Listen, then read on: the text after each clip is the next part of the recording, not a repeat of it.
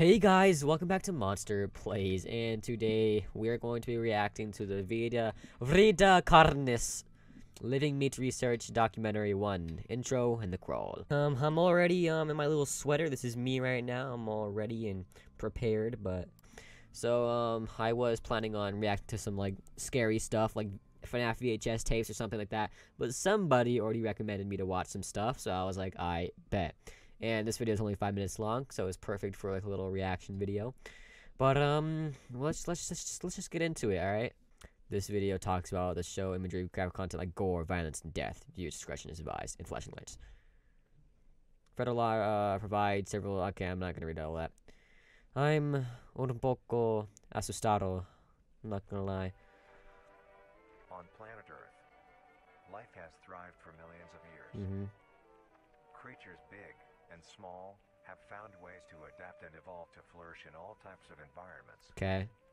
From barren wastes to lush forests, life can be found. Earth has homed these creatures Those fossils? of life itself. Only until very recently, things have changed. Oh God, what are those? forms have appeared all around Look the like the end of squirt guns. changing the balance of nature and what we know about evolution itself. Okay. That is why we, at National Living Meat Research, have been studying these. Yo, what kind of company name is that, bro? Y'all gotta- educate everyone about these creatures. y'all gotta rebrand. ways of life.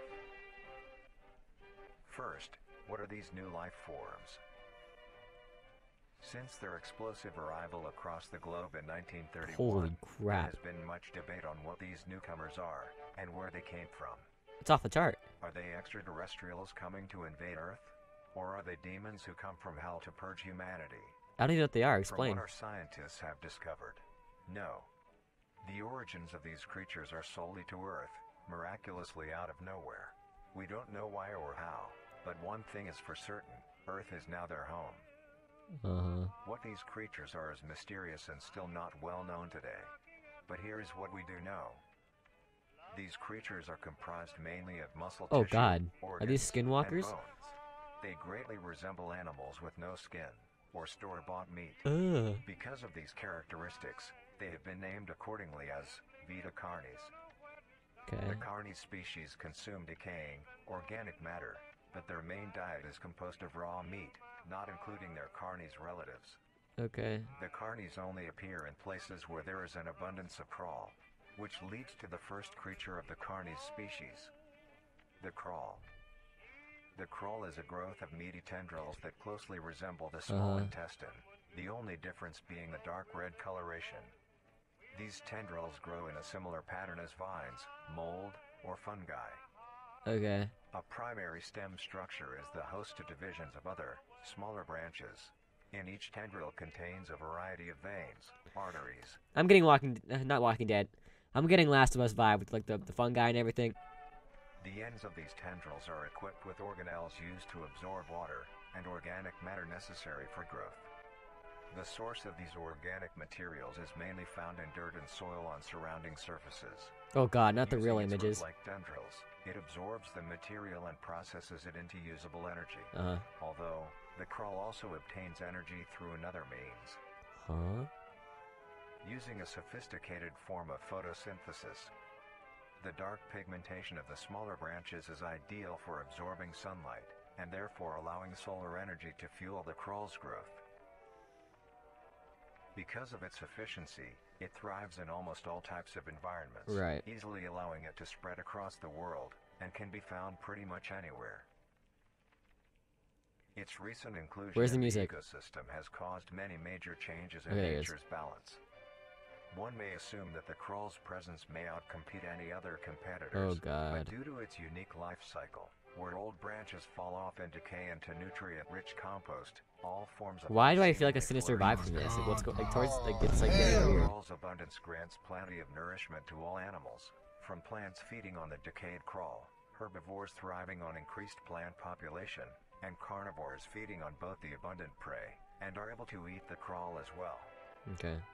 The presence of all these animals leave behind waste, which will be broken down and consumed by the crawl, and the cycle begins again. Uh huh. This form of symbiosis leads to an environment where all populations thrive. Right. Humanity also uses the crawl to Yeah, what kind of human being is that? Because of the supernatural rate of growth of nutrients, Wait, wait, wait, wait, wait. I don't like, I don't like how it does that, bro. Wait, hold on, go back, go back. Y'all see that? Who is this? Is this a person, or am I like just overthinking it? nutrients Right. has been sustainably cultivated That's the crawl. Why does it look like that? The crawl is harvested and processed into fertilizer, which greatly increases crop yield and quality.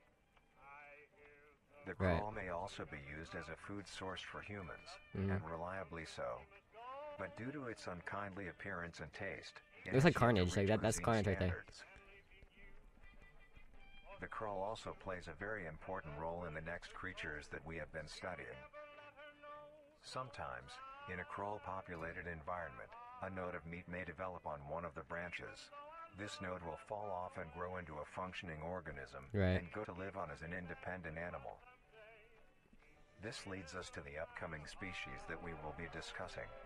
The first of these creatures are the There's trimmings. multiple. s- Oh wait, wait, wait, wait. Is that it? Go back, go back, go back. Okay, okay, that's the end of the video. Hold on, go back, go back. There's more creatures. Hold on. Let me see the image that flashed. It's going too fast. Hold on, hold on. Wait, wait, wait, wait, wait. Okay, this is literally this is really all I can get. King, a prince. It looks like, and a and a king. Okay, so the video's only been going on for like seven minutes, and like probably editing, it's gonna be like six minutes. Let's just watch the second one. Why not? Vrida Carnis Living Meats Research Documentary 2 Trimmings. And it just says the same crap, so we're just gonna skip it. Trimmings are small That's what they look like? resemble skinned raccoons. They are commonly known to have a plump body. It says something like meat head, crap right here. Small eyes, nose and ear holes, and an agape mouth. They are also equipped with a diversity of limbs. Uh huh. All individual trimmings are unique, each with a different body shape, number of limbs, and other characteristics. Oh god, they turn into dragons? One thing they all share in common is that they are made mostly of meat tissue. The origin story of Game of Thrones. meters in length, no 27 larger than a meters? Oh my god. So I can just like squash it, I can stomp on it. Separation From the crawl. It will wonder to find anything that is edible and able to consume. Right. Although it is an omnivore, being able to hunt meat and forage for plant matter, trimmings are almost entirely scavengers.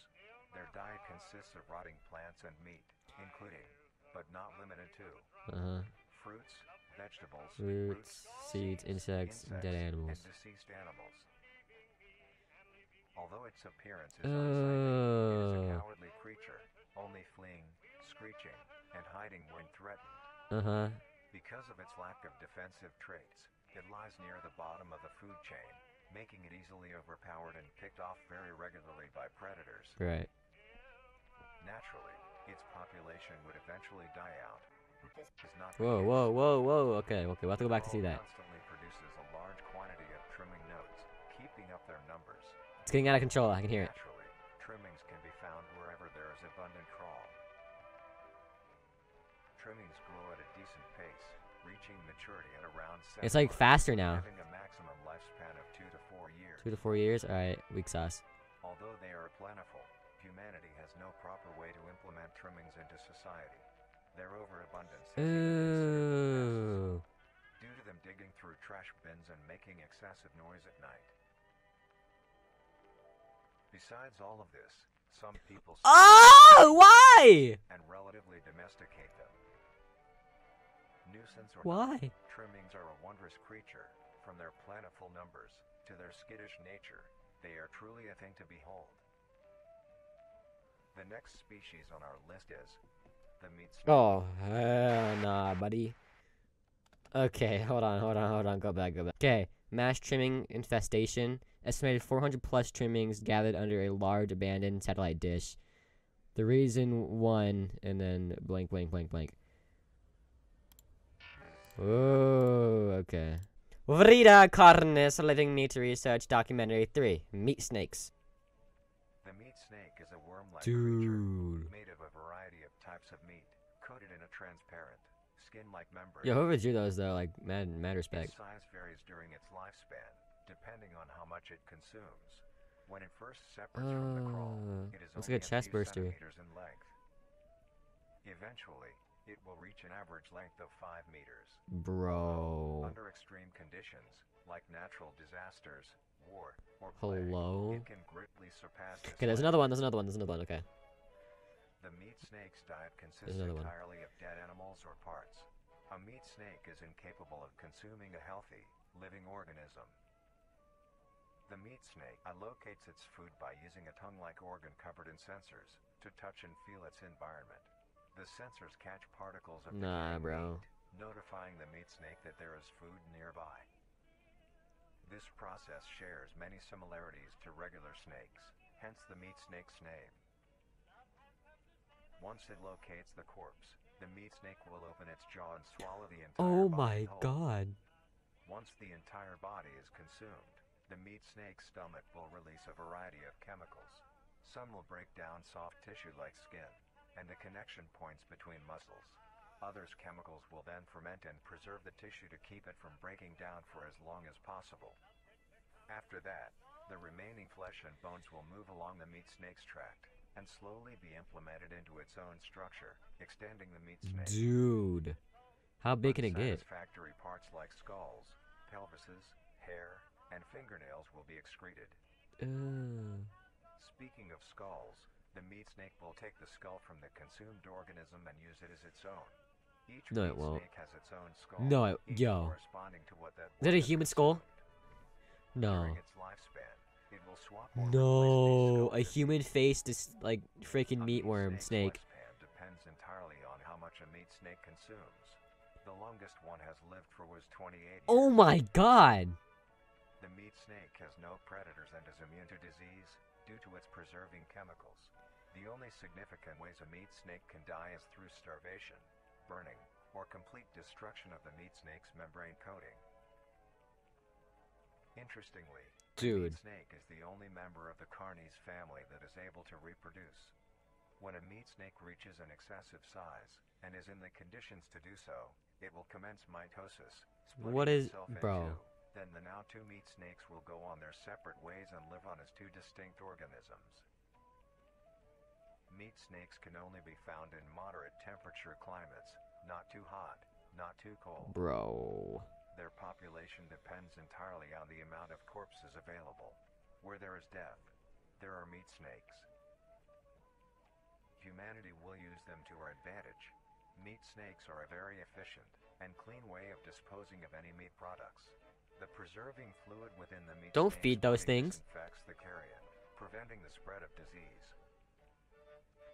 Humans use meat snakes in butcher shops as a waste bin, dispose roadkill, within war on the battlefield to dispose of festering bodies and parts, and within zoos to dispose of deceased. Okay, so say you dispose a body and it gets like normally like like freaking humongous, what do you do then? Like if you use it as a disposal like a trash bin outside your store, then what if you have like a freaking like 50 foot long snake? tame, not caring if any creature is around them, only acting defensively when it is within consuming a meal. This means they are very easy to tame. Overall, Oh my- meat snakes are a marvelous creature with a uh. very interesting way of sustaining itself. It is an amazing experience to encounter one, as long as you don't mind the smell. Our next creature is the No, no, no, no. That that's enough. Yep, that's enough for one day. Okay, so I was able to get this part. After being stranded at sea, the young prince eventually was cast to an island injured. The prince stumbled his way into a nearby cave. The prince used the what magic he could, put himself in a healing sleep. Okay, so this does go on to like the the, king, the king, queen, prince thing we saw earlier. Okay, so I can't really find the um the thing that happened earlier, but I don't think it really matters. But um, if you guys enjoyed today's Vrida Carnis documentary reaction, uh, I will be watching more. Uh, leave those up, subscribe new, click that bell, and I will talk to y'all later.